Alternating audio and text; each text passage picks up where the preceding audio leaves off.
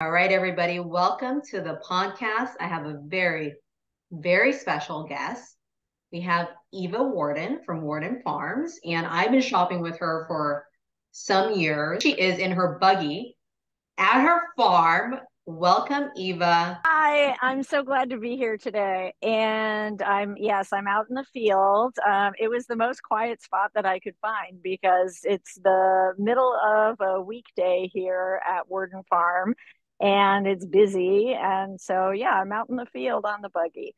Um, you want to start with my story, my my history, yes. and I don't even know your story, so I'm so yeah. grateful for this time. You know, you're always busy at the farmers markets. It's not like you can right. get any more than you know a few seconds with you. So I'm like, I yes. get to learn about the whole story. So I'm excited. Right.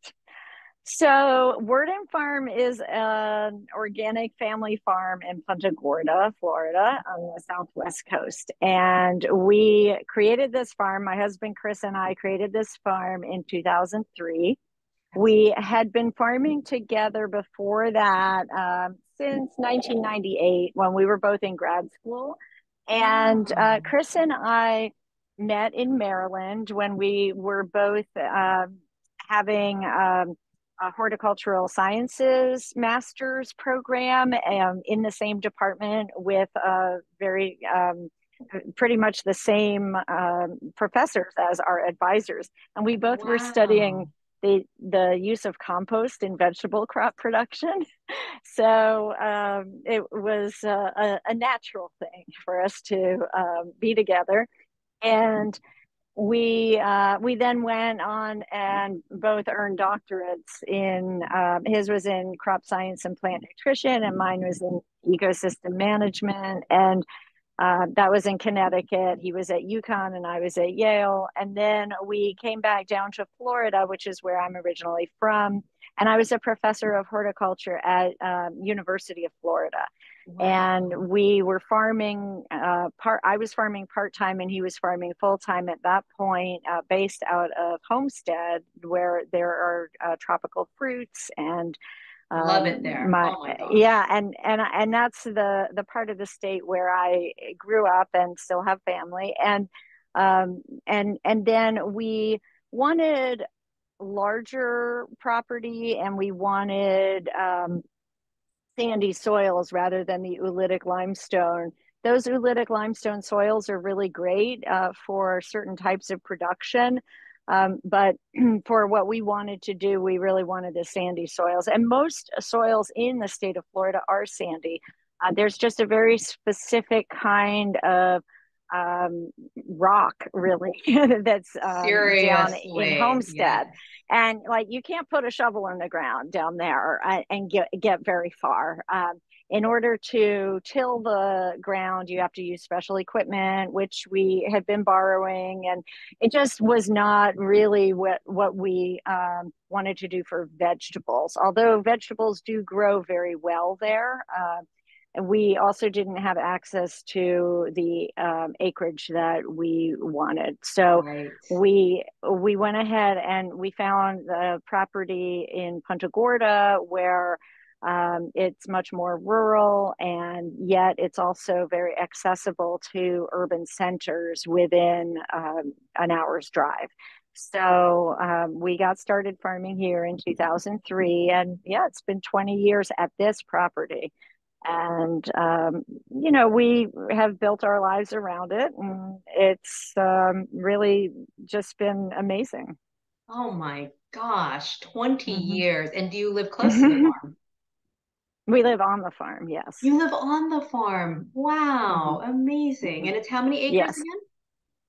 Um, so now it's 85 acres. When we first started, it was 55, and now it's a total of 85 acres and um, about 40 of that is in active vegetable production and the remainder is in woodland and um, we have a few um, animals and um, the barns and roads and We've planted thousands of trees on the property as Yay! well. Um, yeah, so you can see some of it. Everything yes. you see behind me is part of our property, and yes. um, yeah, and and what what we love about the farm, it in addition to its productivity, which is really you know the foundation of it all, is that it's connected to an ecosystem that's much larger than us. And as organic farmers, we're very stewardship oriented. And so, right next to us, there's an 80,000 acre wildlife refuge.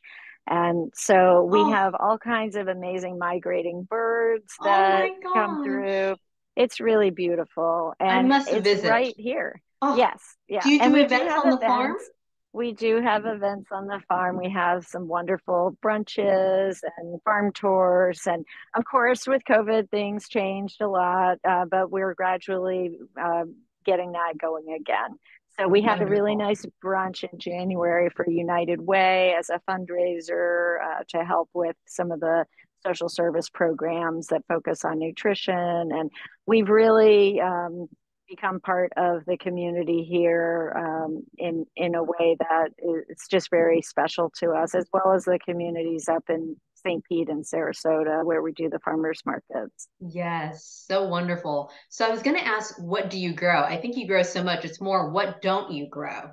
On the you know, because I'm like that would take a long time to list everything. You know, so we don't grow what we can't grow here. I mean, we our our season is fall through spring, and the um, summer months are for growing cover crops, which improve the soil of the vegetable ground, and those crops are grown just to um, be reincorporated into the earth to decompose there and build organic matter and soil fertility for the upcoming vegetable crop cycle.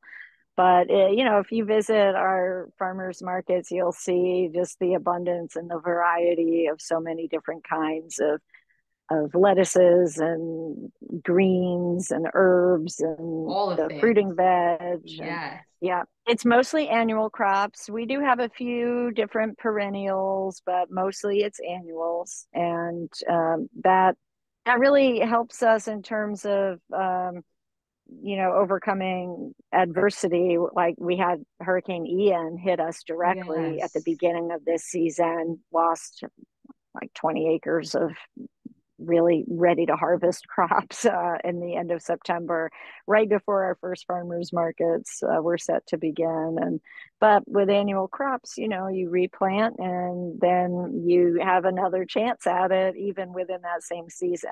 Yeah, uh, you know, compared to tree crops, which can take oh. up to three years to recover from. So. Absolutely. So, in terms mm. of fruits, you don't grow really any fruits on the farm? We do have some fruits, but it's very limited. Um, and we do have the fruits um, down in Homestead, um, where my family, yeah, so, yeah, yeah, yeah, So we have that um, from from the family um, down there.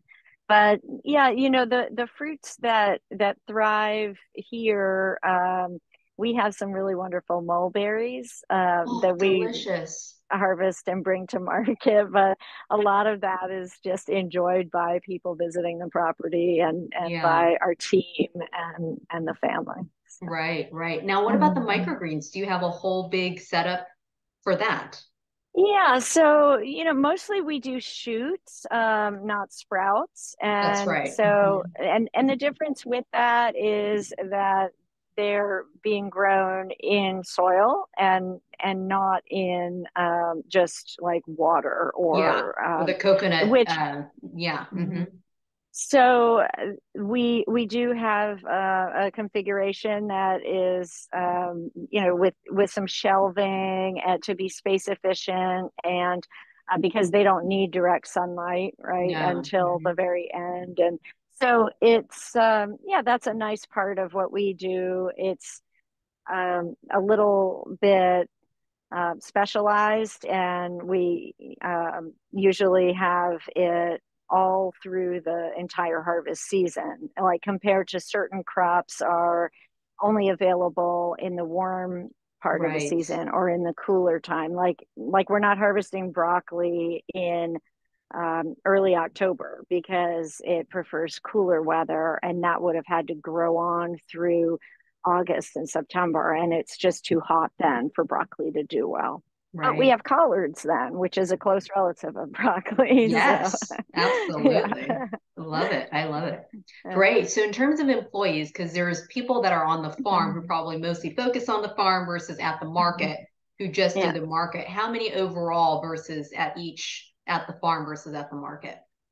Right. Well, you know, that depends on the time of season. Um, At certain times of the season, we just have a, a few, and then it increases and then it um, ramps down toward the end of the season as, as things get less busy. Um, and that works really well for uh, many people's schedules and things that they do in uh, other parts of their life you know? Right. so um, we we do have some people who are apprentices in other farms up north. Uh, one of our apprentices just went back uh, he went to a farm in maine and he's going to do you know he finished out the season here even though we still have a month left. And then he's going to be doing a, a full cycle up there uh, now. Wow. and so that's nice uh, to work with people in that way where it fits really well both with our season and um, you know with what's going on in another spot.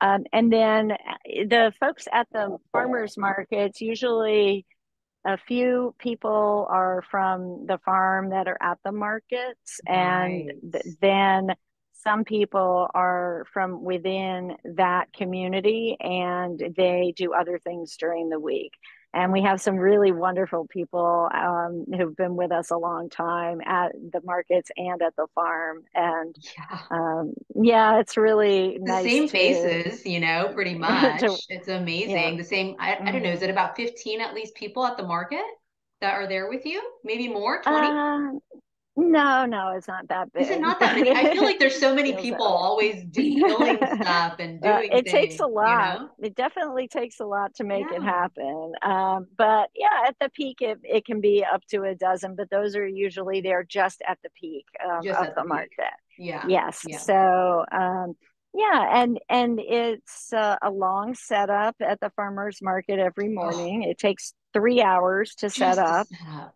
Mm-hmm and you know and that's with being as efficient as possible it's just the reality of the setup and the situation but um, you know part of the setup is just doing uh, another round of quality control and um, you know looking at what we have and trying to present it in an artistic way and in yes. a way that is easy for customers to get in and get out and and also you know encourages a little lingering and conversation yes. because we're really there to create community and to help support people in the lifestyle that they want and to offer it in a way that is accessible and um, not intimidating and affordable.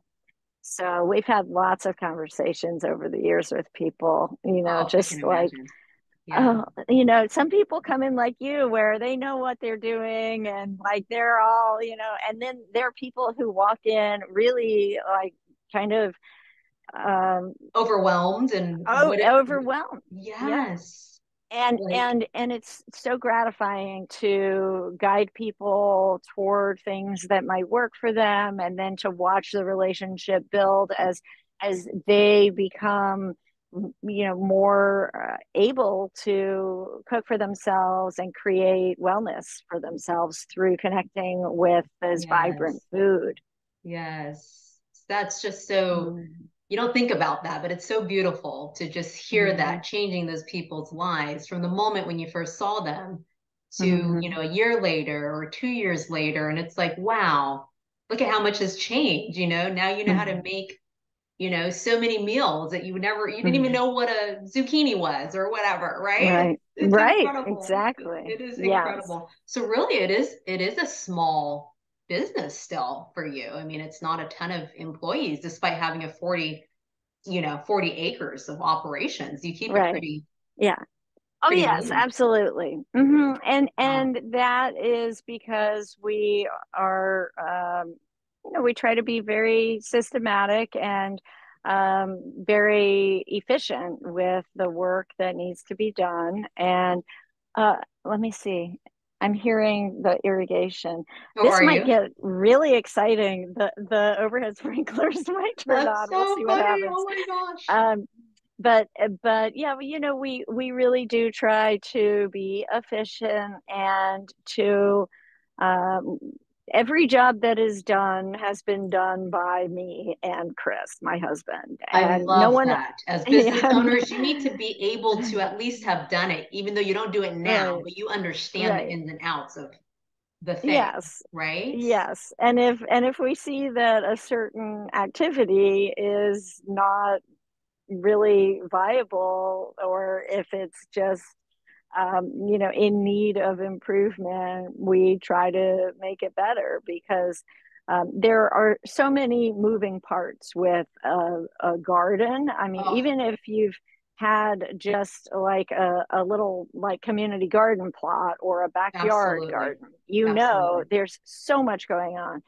and and the same goes for a, a, farm that is highly diverse like ours where we have many different crops being harvested every week um, and and then there's also the um, the marketing part of it where we take it to the farmers markets. We also have a farm box that we deliver to uh, over a dozen places in southwest florida and wow. we have a farm stand on the farm once a week for members so oh, wow. that's a lot mm-hmm. that's so great i love it yeah so mm-hmm. organic farming um, is very vast do you have a mm-hmm. particular mm-hmm. method of or, or or a combination of methods that you like to utilize on your farm well, we are USDA certified organic and always have been. Uh, we feel that that program does a good job of describing to um, people in the community a certain set of standards that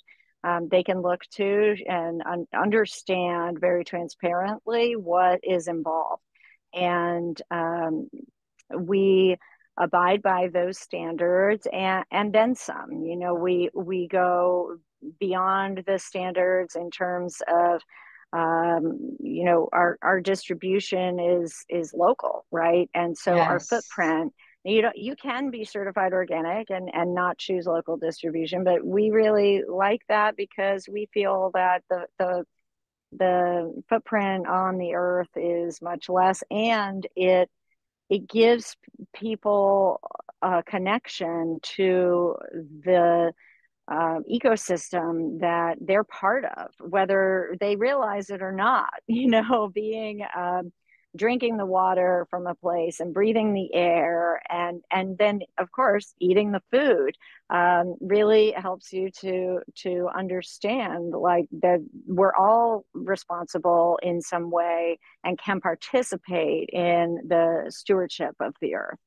and not everyone is going to own land and and be yeah. a hands-on daily steward but something that you do multiple times a day is going to have a direct impact and that's the food that you eat so if you can make that choice um, if that choice is available then you know that's that's something that we do that that is above and beyond uh, with regard to organic but as far as like the nitty gritty of um, like the the practices we are very soil focused as i mentioned mm-hmm. my husband has a doctorate in uh, crop management and um, you know soil and plant nutrition right? And so that is um, something that he's always very conscious of in the fertility management of, of the soil here. Um, the cover cropping is a big part of that and um, he's um, always looking at the crop rotations as well. Um, and then the insect and um, disease management right. of the crops. You know, we we grow crops that um, we know can do well during the time window that they're grown. Um, sometimes people will try to grow things like like I was saying about growing broccoli in August. Like you're just setting yourself up for having problems if you do that. Heartache um, for so, you, loss and heartache. Right. Yeah. yeah. So so really looking at it in in in a, a whole ecosystem way, but also looking at it like from an organismal perspective. Yes. Of, like okay, what does this crop need?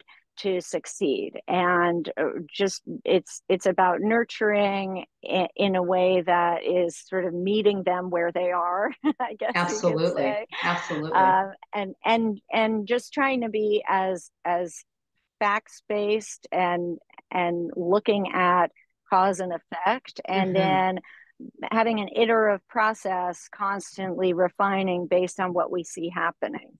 So um, we're also very conscious of it in terms of what people want to eat and what people yes. are are willing willing to bring into their diets um, because there's a lot that we can grow really well but people just don't really know about and right. when we teach them about it and then they start eating it and it becomes a more popular crop like when we started farming that was before kale was as popular as it is now, if you can believe that.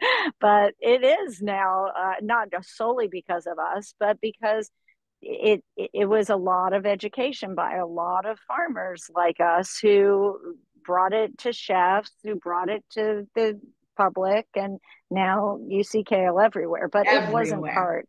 Yeah, yeah. And, but it, it was not part of the the um, diet of our communities back then. Yeah. And so yeah, you know, we're we're very um interested in soil based production. We feel that the quality of the food is excellent in uh, soil grown crops, and um, that that's all based on on the uh, the nutrients and and the the fertility of the soil so grateful that he did all that study to have that mm-hmm. knowledge because mm-hmm. that is mm-hmm. so key you could be an organic farm but that doesn't mean your soil is mm-hmm. is healthy right right Right. So and now even it's possible to have organic certification and not be um, growing in the soil at all.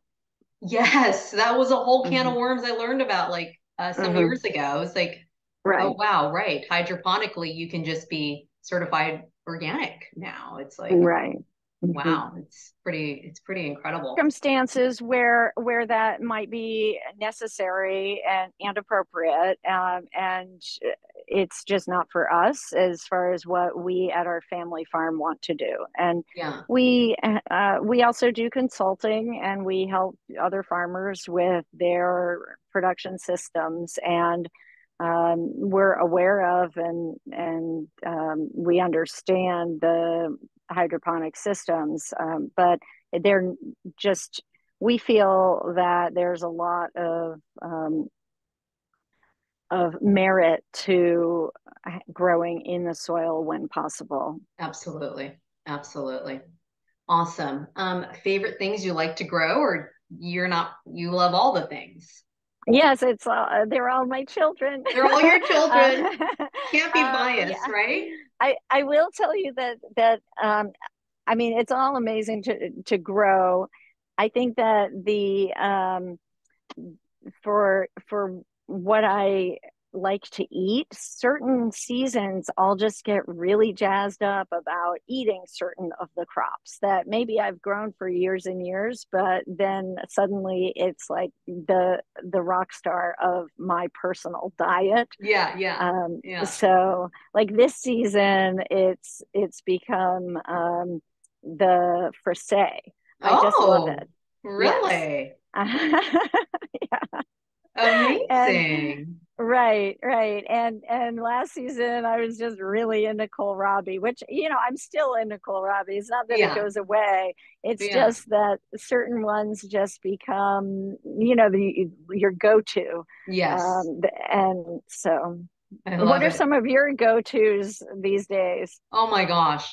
I always have some basic things, but I was I was listening to somebody recently was like, well, if you keep having all of your favorite things all the time, then you don't feel like you have, you know, like, oh, I have to have, I'm kind of like, oh, I have to have all these basic things. I'm going to try to switch it up and be a little bit more basic. Like maybe my salads will have like three or four things versus, you know, eight to 10 things. But, you know, uh, you know what I really love? I've always loved iceberg. And I don't think you uh-huh. grow, do you grow iceberg at all? We only do it sometimes and that's during the cooler times of the year yes yeah. we we do grow it occasionally but that's not one of the main ones that we grow yeah i don't know it's just so like crisp mm-hmm. and juicy and amazing, right? Mm-hmm. But then mm-hmm. like the store bought stuff, even organic, I mean, it's all the mm-hmm. same. It tastes the same, right? But then you can get right. it like the farmer's market, and you're like, this is iceberg lettuce. Oh my gosh, it's incredible, right. You know? Yes. But herbs. I think herbs take any dish from like, oh, it's okay to, uh-huh. oh my gosh, this is right amazing. This is everything, right? So yeah, fresh herbs. I think that just even if you don't know how to cook very well, if you can just sort of throw in some real like the Thai basil, right? Or yes. mint. Thai basil, I don't know. It's kind of perfect in anything and everything. So Oh, it's so good. I yes. know. So delicious. oh my gosh, so great. And have you always had a green thumb or not not really? You know, I used to um, be sent to weed the garden at my uh, parents' house when I was a child, and I I mostly remember sort of muttering and disliking the whole proposition, um, and I I don't think until I really planted things and and grew them in a way um, that you know I could harvest them and eat them that that I really um, started to learn more and and that made me a better grower i think my point of entry initially to horticulture mm-hmm. because i didn't grow up in a productive landscape i grew up in an urban landscape and so it was more the ornamental horticulture of like trees right. and um, and I did have my my family's grove um, was uh, fruits, and it's uh, that's sort of of a different category, but you know, really the trees, you know, yes. and and so I, uh, the trees are like when I think of does someone have a green thumb, I think of more like herbaceous plants. I don't know because trees it's not the same. Yeah. But trees are not as hard really. I mean they they take a certain type of care but they're just generally more resilient. Uh, herbaceous plants really require just constant maintenance, right? And trees can be kind of forgotten for a while in a way, and they're fine. Yeah, it's like the trees take more time from like, you know, getting it into the ground and then it's stable. And then you're like, okay, right. you're good. Whereas, right. you know, herbaceous, it's like a constant. Oh, you can't leave. Like, you, you cannot leave these it. crops, yeah. not even for a day. Yeah. You know? I mean, people ask me why I don't travel, and it's like because of these. Because I would be and, freaking out. Right, right. Yes. And so the green thumb, to my mind, it's about commitment and it's about um, just being there for them and being nurturing and responsive to them. Um, so I think that when I was younger and just doing other things, I I no, I would not say I had a green thumb. I would say I developed one over time with um, the desire. Uh, I learned what I needed to know, and then I've done what I need to do. That's how I got the green thumb. Well, that's yeah. very inspirational for those that tell themselves, I don't have a green thumb. I'll never have a green thumb. It's, it's learned, practice, yeah. You know, over repetitive, yes. right? which is great, which I guess kind of answers the next question of do you have any advice for new gardeners or, or farmers? I guess it's just keep practicing, keep, keep trying, keep at it. Yes, definitely for gardeners, keep at it. Um, and you know for farmers i would say that's a whole different thing. I mean gardening i would say to gardeners if you love gardening don't necessarily think that you're going to love farming right. because they're they're very different. Um, it's like if you love cooking don't think that you need to open a restaurant. go open a restaurant. Not the same thing. Yeah, yeah. but um but no you know definitely with gardeners my and we do organic gardening workshops and really help people to get good crops off and and have um, low maintenance gardens by giving them some some knowledge that that can just change the game. But um, just a couple things that i could say right now would be um, to understand the uh, the location of your garden initially right? Like if if you start out with a garden that doesn't get uh, the sufficient sunlight has poor drainage has a legacy of contaminated soil it doesn't have irrigation water available any of those kinds of things that's a really um, hard place to start with so really it's it's kind of like if you're building a house you want to make sure you got a good foundation. Right. and um, and the same goes for a garden. Sometimes you need to just recognize like okay maybe you need to find a different spot to garden. And um, that's that's something to consider for sure. And then yes um, just uh, be gritty and keep going. Expect that there will be setbacks and um, keep on planting I love it. I love it. Mm-hmm. All right. Well, if there aren't any other final words, because mm-hmm. that was that was beautifully stated. Um, and and I loved hearing the whole story and getting down to the details and just seeing you there. It looks so peaceful, you know. My gosh, and that you live there. Now, was there a house there when you bought the land, or did you build? No, we built it. So you have the perfect place, the perfect mm-hmm. land dreams dreams do come true you guys. Dreams do come true. I love it. With a lot of hard work. With a lot of hard work not just sort of wishing and you know just a little magic wand right? It's not really like that. Right. Well thank you so very much for your time and of course always look forward to seeing you at the market trying all the different goodies. Thank you for all of your brilliance and dedication to your mission Absolutely, my pleasure. Yes. And thank you for, you know, it's it's you and folks like you that make us um, able to do what we're doing because it's um, you know i'm always delighted when i see you at the market and i know that you are um, so uh, appreciative of the crops that we grow and you're also working tirelessly to communicate and connect with people around your own process of discovery. And um, you know we're we're all in this um, world um, looking for the fit and looking for the the connections and and um, going along our ways as as best we all can. Um, and so and and and your your part in it as it connects to the farm and out into the larger world means a lot to to me personally. So thank Aww. you for this opportunity to be here. Thank you so much. I really really appreciate that. I will see you okay. thank Bye. you thank Bye. you